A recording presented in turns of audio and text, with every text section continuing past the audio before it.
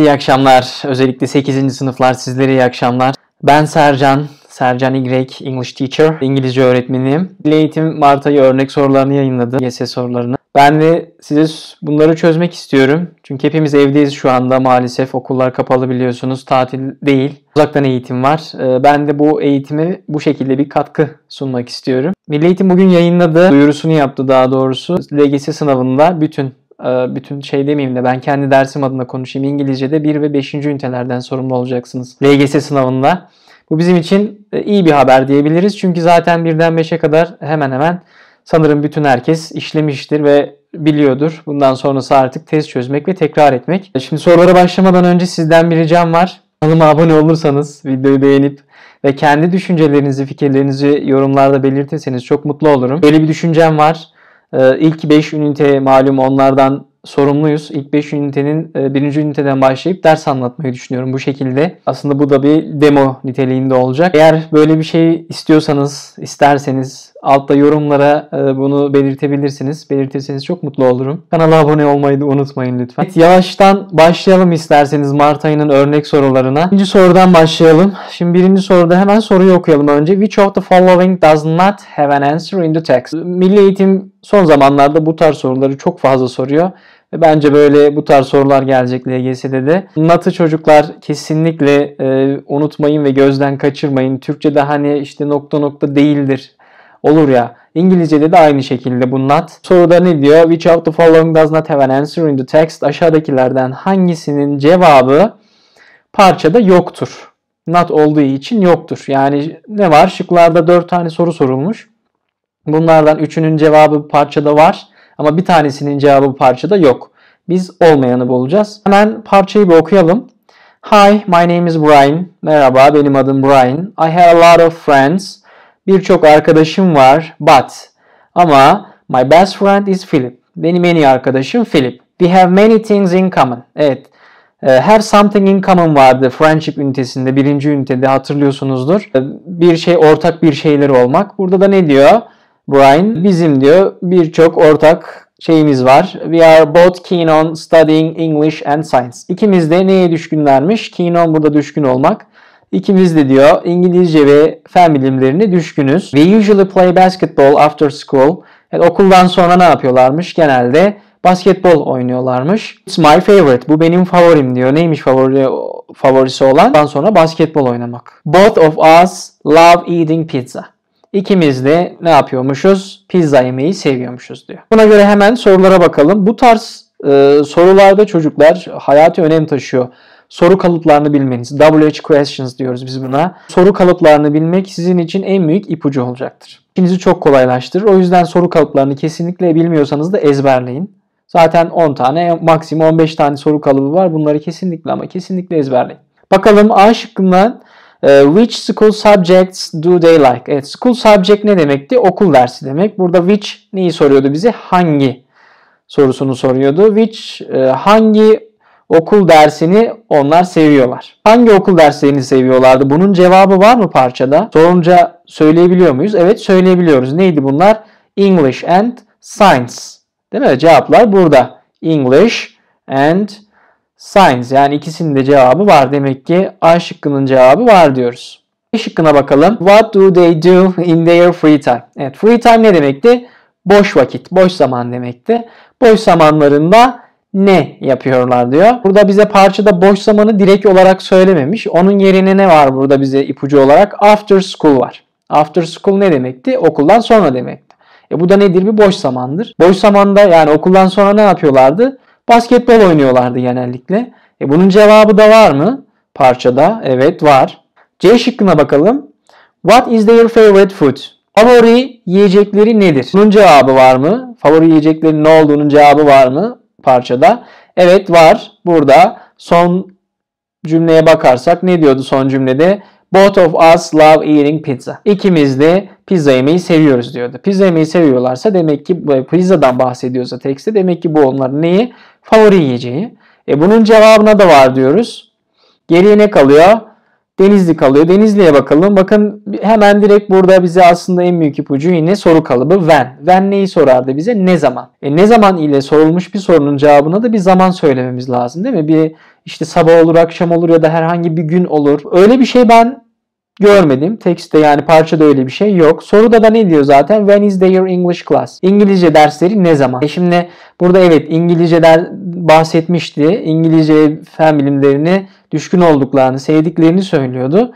Ama o derslerin ne zaman olduğunu söylemiyordu. Ee, hangi gün olduğunu ya da hangi saatlerde olduğunu söylemiyordu. Bu sorunun cevabı parçada var mı? Yok. O zaman cevabımız ne olur? Denizli olur. İkinci soruya geçelim. İkinci soruda şurada e, tam olarak soru görünmeyecek benim e, videom orada göründüğü için. Ama biz sıkıntı değil. Önce bir soruya bakalım hemen. Gerçek bir arkadaşın destekleyici olması gerektiğini kim düşünüyor? Şimdi burada ne var? 4 kişi var. Tom, Sylvia, e, Bill ve Maggie var. Ortada bir fikir var. Neymiş? Opinions about a true friend. E, opinions fikirler demekti zaten. Gerçek bir arkadaş hakkındaki fikirler demiş. Herkes fikrini söylemiş burada. Biz desteklemekle alakalı kim ne bahsetmişse onu bulmamız gerekiyor. Destekleyici olması gerektiğini kim düşünüyor arkadaş e, arkadaşın? Bunu bulacağız. Hemen bakalım Tom ne demiş? I think he or she says please and thank you. Bence demiş o e, lütfen ve teşekkür ederimler. Şimdi burada e, desteklemekle alakalı herhangi bir şey var mı? Hayır. Burada aslında ne? E, polite var. Kibarlık var değil mi? Desteklemek yok. E, o zaman ne diyoruz? Tom olmaz diyoruz. Silvia'ya bakalım. Silvia demiş ki to me bana göre he or she never tells lies. Evet bana göre diyor o e, hiç yalan söylemez. E, burada da yalan söylememekten yani dürüstlükten neydi dürüstlük? Honest, honesty. Dürüstlükten bahsediyor burada da ama destekleyicilikten bahsetmiyor. O yüzden Silvia'yı da eledik. Bile bakalım. In my view, he or she backs me up when I need him or her. Evet burada da bakın burada işte backup var. Back someone up. Ne demekti? Birisini desteklemek demekti. Bunun zaten eş anlamlısı neydi? Supportive'di. Eş anlamlısını burada ne yapmış? Yukarıda vermiş. Ne diyor? Bana göre o beni ihtiyacım olduğunu destekler. E doğru mu? Burada da zaten desteklemekten bahsediyordu. Bil o zaman buradaki cevabımız oluyor. Maggie'ye de bakalım yine de. Maggie ne demiş? In my opinion, benim fikrime göre diyor. He or she makes me smile. Beni güldürür. E burada da güldürmek var. Komik, funny olmak var. E, bu da değil. Cevabımız ne olur? Bil. Üçüncü soruya geçelim. Üçüncü soru bir mail e-mail daha doğrusu. Burada hem mailleri de incelemiş oluruz sizlerle. Şimdi e-mailde çocuklar burada from var görüyorsunuz. From den demek yani kimden Kimden gidiyormuş? Sandra'dan. Zaten bunu parçadan da artık anlayabiliriz. Invitation kartlarda da aynı şekildeydi. To kime gidiyorsa onu gösterir. Subject de konu. Konusu neyse o yazılır buraya. Şimdi kimden gidiyormuş? Sandra'dan gidiyormuş. Bu mail kime gidiyormuş? Mira'ya. Konuda invitation yani bir davetiyeymiş. Bakalım hemen. Hi Mira, merhaba Mira. Our club is organizing a party for the new school year. Evet diyor ki kulübümüz yeni okul senesi için bir parti organize ediyor. We are meeting at the club hall at 8 p.m. on 8 September. Ne zaman? 8 Eylül'de saat akşam 8'de nerede? Kulüp salonunda buluşacaklarmış. We are bringing food food and drinks. Evet ne getiriyorlarmış? Yemek ve içecek getiriyorlarmış. Would you like to join us? Bize katılmak ister misin? Please let me know your decision. Lütfen bana kararını söyle. I hope to see you there. Ee, umarım seni orada görürüm. Love, sevgiler Sandra. Gönderen kişi kimmiş burada? Sandra. Sandra bizim neyimizmiş? Hemen şurada bir okla da göstereyim. Şu oku şöyle alayım ve şuraya bir parça ekleyeyim. Evet Sandra Sender. Değil mi? Gönderen kişi. Mira burada o zaman ne oluyor? Biraz yamuk oldu ama neyse önemli değil. Mira da bizim neyimiz oluyor? Alıcımız oluyor değil mi? Çünkü burada mail Mira'ya gidiyor. O zaman alıcı ne demekti? Onu da hemen şöyle yazalım. Alıcı da alıcı da receiver demekti. Ee, Mira da bizim receiver'ımız. Bir de burada re var bu çocuklar. Bu re reply yani cevap e, ne yapmış? Mira cevap göndermiş Sandra'ya. Bu sefer bakın yukarıda Sandra var. Sandra Mira Sandra ne demiş? I love to join you. Sana katılmak isterim. I will be there. Orada olacağım. My mom is going to cook some cookies for me. Annem benim için ne yapacakmış? Biraz kurabiye pişirecekmiş. See you soon Mira. Yakında görüşürüz Mira. Mira bu durumda ne yapmış oluyor? Davetiyi kabul etmiş oluyor. Accept. Kabul etmiş oluyor. Yani gidecek. Şimdi soruda şunu soruyor bize. Which of the following is not correct according to emails above? Evet diyor ki yukarıdaki e-maile göre aşağıdakilerden hangisi doğru değildir? Bakın yine kafa karıştırıcı burada not var ama büyük harfle yazmışlar. O yüzden dikkat edin. E, dikkatsizlik olmasın bunda. Doğru değildir. Yani demek ki burada 3 tane şıkkımız doğru. Bir tanesi doğru değil. Biz doğru olmayanı bulacağız. Şimdi şıklara bakalım. A şıkkında demiş ki they are celebrating the new school year. Onlar yeni okul senesini kutluyorlar. Doğru mu? Evet zaten ne yapıyordu? İlk cümlede bundan bahsediyordu. Bunu söylüyordu. Birinci A şıkkımız bizim doğru. B şıkkına bakalım. The party is at the club hall in the evening. Evet parti diyor akşam neredeymiş? Kulüp salonundaymış. Doğru mu? Evet doğru. Bakın zaten burada ne diyordu? Nerede buluşacağız diyordu. We are meeting at the club hall at 8 p.m. 8 p.m. nedir? Akşam 8'dir. Akşam 8'de evening oluyor zaten. E, akşam e, kulüp salonunda buluşacaklarmış. Bu da doğru. C şıkkına bakalım. Sandra invites Mira to a cafe for the party. Ne diyor burada? Sandra Mira'yı parti için bir kafeye davet ediyor demiş. Bir kafeye mi davet ediyordu? Hayır. Nereye davet ediyordu? Kulüp salonuna davet ediyordu. E burada ne var? Bir yanlışlık var. O zaman biz buna ne diyoruz? Hayır. Bu yanlış diyoruz. Denizli'ye bakalım. Mira accepts the invitation and she is bringing some food. Evet Mira davetiyi kabul ediyor ve ne yapıyormuş? Biraz yiyecek götürüyormuş. Doğru mu? Zaten burada söylüyordu. Katılmayı isterim. Orada olacağım. Annem de kurabiye pişirecek diyordu. Demek ki ne yapıyor? Kabul ediyor. E bu da doğru. Yanlış şıkkımız hangisi? Ceyhan. Dördüncü sorudayız. Dördüncü soruda bizde cooking ünitesinden gelmiş. Evet, the process of making pancakes, evet, pancake yapmanın sürecini burada söylemiş. Which of the following is correct order of the recipe above? Evet, diyor ki aşağıdakilerden hangisi yukarıdaki tarifin doğru sıralanışıdır diyor. Ne yapmış burada? Pancake tarifi var. Karışık verilmiş. Biz doğru sıralamasını bulacağız. Şimdi burada e, tek tek okumak yerine ben hemen buradan size dikkatinizi çekeyim. Üçüncüsüne bakalım hemen. Bakın üçte demiş ki put the eggs sugar, milk and flour in a bowl.